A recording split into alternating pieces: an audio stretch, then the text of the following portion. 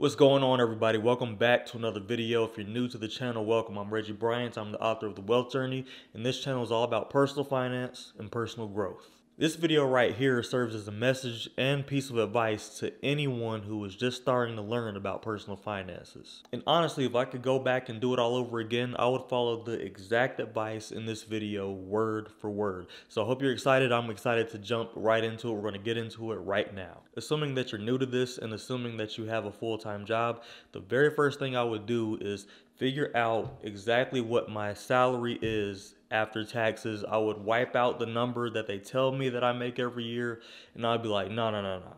What do I make after taxes? And I would look at it on a month to month basis. I would look at what my after tax pay is for a full month. And then what I would do is I would take that and I would cut it in half because most of us get paid twice a month. So I would make it real life to myself. So I'm not just looking at the whole month, but I'm looking at it in terms of weekly increments because the thing is you definitely get bills in between like it's different times of the month and sometimes of the month you feel like you have more money than you know what to do with and then the other part of the month it may feel like all right i gotta i gotta be careful with this one now i might spend all my money. So so if you know exactly what you're making every month after taxes and you divide that by two so you can see what you make every other week that is going to put you light years ahead than if you didn't do that because now you can budget for every other week instead of budgeting for every month. So now that part of the month where you have more than usual left over, you'll be able to think a little further ahead with that money right there. And the same thing goes for that part of the month where you feel like you gotta scramble a little bit, you gotta penny pinch a little bit. You won't have to as much because now you can plan for it way ahead of time. Second thing I would do is I would be hyper intentional about saving. So once I got everything down to the penny as far as my after tax pay, I would go ahead and automate every single thing. I wouldn't do it all at once, but I would make it a point by the end of, let's say, a three month period to have everything automated. So all my bills would be automated, any debt that I have would be automated. And then on top of that, my savings and my savings goals for myself would be automated. I'll start off with something like automating my rent because you can't miss out on that. And then go to a few more things. Okay, now I'm gonna automate my rent and my utilities. Now I'm gonna go ahead and automate my cell phone bill, then my internet bill. I wouldn't do it all at once if I wasn't comfortable yet and I still wasn't sure what the numbers meant or how much I go through in a given month anyway. I would just do it incrementally. And that right there would make my life easier. It would I would never be part of that conversation of the people who are like, I forgot to pay rent, so now I have to pay a late fee. I would never be like, well, I forgot to pay my credit card, so now I got to pay a late fee. I never have to worry about getting emails or something in the mailbox saying, hey, you're late on your phone bill. And it would kind of save myself from a little bit of embarrassment, but also just knowing that now you owe more money. And sometimes there are workarounds to this. You can actually call up the place and say, hey, I don't know what happened. Here's the money. And they're like, okay, cool, I'll waive that fee or whatever. But you wouldn't have to do this if everything was automated in the first place and you got yourself comfortable with automating everything. So I'm, I'm just trying to prevent the problem from happening and you won't have to worry about a workaround. Because I've definitely been that guy on the phone one time with my apartment complex years ago saying, hey, I'm not sure what happened. My payment didn't go through. Here's the money. I, have had it this whole time and it must have just slipped my mind. Don't worry about it. We'll work something out. They waived the fee. But then I thought to myself, well, if I had this automated in the first place, I wouldn't have to worry about it. So that's just a piece of advice for you. And that's something that I would definitely prioritize at the very, very beginning is automating everything. There's a, there's a couple things that's going to happen when you do automate everything. First of all, you're going to realize there's money coming out of your account without you doing anything. And because of that, you're going to have to learn how to live on less because your money is automatically going to these other places which are actually your needs but i guarantee you your spending is going to go down because now you're going to see the true number that you have left within the month to spend. And that's going to give you more discipline but it's also going to give you a transparent picture of how much freedom you technically have with the money that you have left. And it's also going to show you how much money you're going to be able to save from here on out and you can go a little bit more be like okay I, I was able to save 250 this month so i'm going to try 300 next month. And then you'll get a better and better idea until you can basically max yourself out when it comes to saving. Because that goes along with the next tip is i would prioritize stacking up my savings as quickly as possible. When i first graduated college my biggest thing was dave ramsey dave ramsey dave ramsey. All he talks about is paying off debt That's what I want to do. I done saved my $1,000 that he recommends. Okay, cool. Now I want to pay off debt. And I was ready to pay off my debt before that grace period, you know, that little gracing period before you actually had to pay off any of your college debt. I was like, nah, I want to pay it now. I was ready to throw thousands and thousands at it. But then I really had to think about it. And it's something that I didn't really think about until years later, years and years later. But what would have been smarter for my financial well being is to actually make sure that I prioritize saving as much as possible. Why stop at a thousand when you can do three? You know what I mean? Like, if you were in a position right now where you're getting started, you're just learning about this personal finance thing, and you're making decent money to where you can actually put a good chunk of it away, why would you stop at just 1000 There are so many things that could happen to you or your loved ones right now that will greatly exceed $1,000. And as challenging as saving $1,000 can be when you first get started, once you save the first 1000 that's going to give you confidence to save your next 1000 then your next one. And before you know it, you'll have five figures in the bank account. But I'm all about saving with a goal. And the goal here is to simply have a peace of mind. So I would prioritize saving that first $2,000 because I think the rule of doubling is so important. Like if someone tells you you should save 1000 and you save 2000, you're going to be twice as prepared as the person who just has $1000 saved. You get what I mean? So that's money that is not to be touched. And then I would create a completely separate account that is an emergency fund and I would choose a high yield savings account like say Marcus by Goldman Sachs and I actually have an account with them and I use them. I add money to that emergency fund every single month. No matter how big it gets, I just add little by little every single month.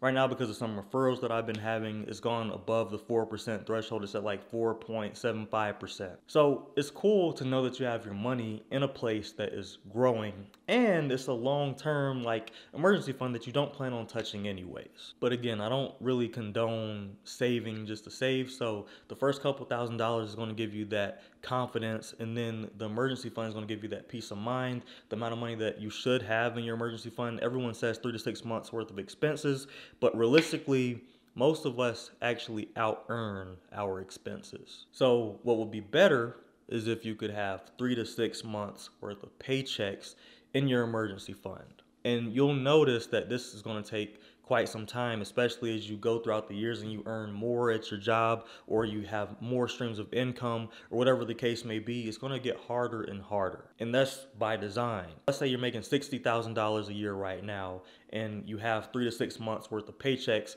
in your emergency fund and it took you a few years to get there, cool. But what if you make $75,000 next year? So now your paychecks have increased. So now it's time to keep putting money into that, right? And it's going to keep growing. And that's the beauty behind it is that's going to give you almost a bulletproof mindset. Like there's not a whole lot of things that can go wrong that's going to freak you out once you have that kind of financial backing. A lot of people think I'm tripping when I say that, but I'm telling you that it's not tripping. It's not. I remember when I first achieved having four months worth of paychecks just sitting there in my emergency fund. It was an amazing feeling. And at that point, like, a lot of people really couldn't tell me anything there was no amount of threats in the world that my job at the time could give me that would make me fearful. Because I started out when I had my first ever full time job, I was pretty fearful because it was a cutthroat industry. People got fired and sent home all the time, and I was new and I just wanted to.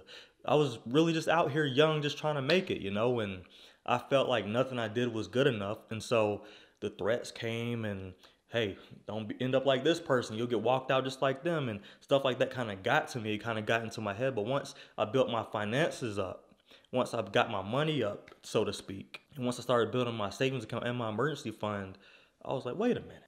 Do they do they know who I am? You know, like you're gonna start thinking like, hold on a minute. They can't be talking to me. Do they know who I am? Don't they know that I have four months worth of paychecks in my savings account? Don't they know that if they fired me, I would get another job and I would have money and I wouldn't have to worry about nothing and still have more in my savings account than most people? Stuff like that. So I'm just saying, that's what I would heavily prioritize. This is going to help you avoid a bunch of issues in the future. It's going to help you get rid of a bunch of things that go on in your head in the future, like man, I don't I don't have the money for that. You ain't gonna find yourself saying you don't have the money for certain things because your emergency fund is gonna be on point. And then once those two things are on point, if you wanted to take a break from saving, you could stop saving in those two specific accounts and you could actually put the extra money that you have toward something else like investing or extra money towards your 401k at work which is also investing but it's a little more secure than probably if you did it by yourself because professionals are controlling your uh, 401k at work. You could have more play money, or if you want to start funding like your kids' college fund or your own education and you have your own aspirations and dreams that you want to build on the side, you can then put money that you have extra toward that stuff.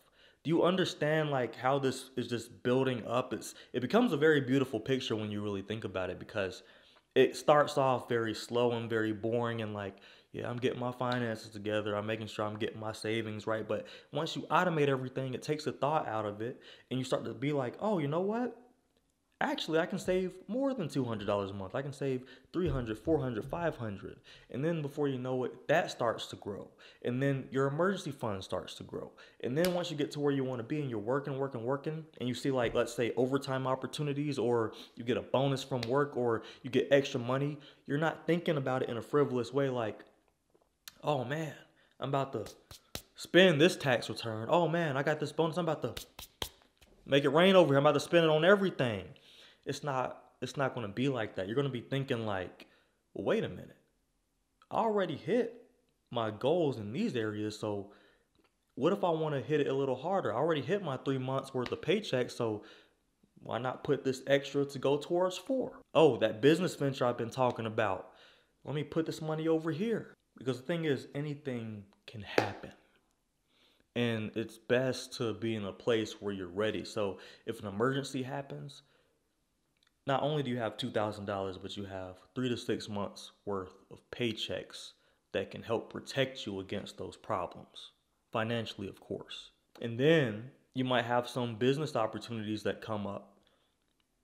You want to be ready for those things where you have the money to, I don't know, shell out $10,000 on a business idea or $2,000 on a business idea or spend money on a class to further your education so you can be more valuable in whatever field you're in if your car ever breaks down because your battery died, you don't want to be that person who's like, man, I don't, I don't got the money to replace my battery. You want to be, like, yeah, I got it right here.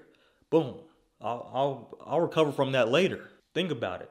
You have thousands and thousands of dollars sitting in your emergency fund and in your savings account, and you run into an expense that costs you a few hundred dollars. Okay, whatever, no problem. Like I'm not happy about it, but I'm I'm not hurting either it's time to replace all four tires. Okay, I got the money for it. It's all good. I don't I don't got to worry about that. I can replenish that money later. You get sick, you get hurt, you break something. You can have this little money nest egg that you're kind of sitting on that can help you throughout these times. There's nothing worse than going through hard times and then also not having money to back you up. Because we all go through something. It doesn't have to be financial, but we all go through something emotionally, physically, spiritually, relationally. And when you go through these things, and you don't have money to kind of back you up, to kind of reassure you, to kind of help you get through that situation, it's very difficult.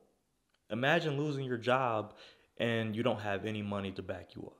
Imagine going through something extremely emotional for you and you also don't have money. Is that going to improve or worsen the situation? That's what I'm getting at. I'm not saying that money's going to solve everything, but having things happen to you and not having money is going to be a very, very bad combination for you. And to avoid that, I highly, highly suggest that you listen to what I'm saying in this video because if I could go back and do it all over again, this is exactly what I'd follow. In between all this stuff, I would be like a nerd about the stock market because now, what I know now about the stock market, I really, really, really wish I knew then. Because if I did, my net worth would probably be quadruple or quintuple what it is right now. Not lying, I'm not exaggerating, like, and it might have been more than that because now I know quite a great deal about the stock market. And had I put my money in the stock market as opposed to other places, whew, things would be a lot different. But everything happens for a reason, and I fully accept that. So I would prioritize my financial well being first I would work on paying off debt next. Little by little, of course. It's not going to be expected to happen overnight. And then once you feel like your money's right with your savings and stuff, go ahead, start investing. And then you'll probably still be paying off some debt still at that time. So you could probably do both. It just depends on what it looks like for you and how you want your finances to be set up. But this is a good starting point for anyone who is just starting to learn about personal finances. That is where you get started. And you start with peace of mind. You have a peace of mind. That means you have mental clarity. That means you make good decisions. And that means your future is going to look a lot brighter than it would if you didn't have that peace of mind. And you can pass that information on. Anyway, I hope you enjoyed this video as much as I enjoyed making it. That is the video for today. Thank you so much for watching. My name is Reggie Bryant, and this channel is all about personal finance and personal growth so you can control you, control your finances, and control your life. Thank you so much for watching. I'll see you in the next video.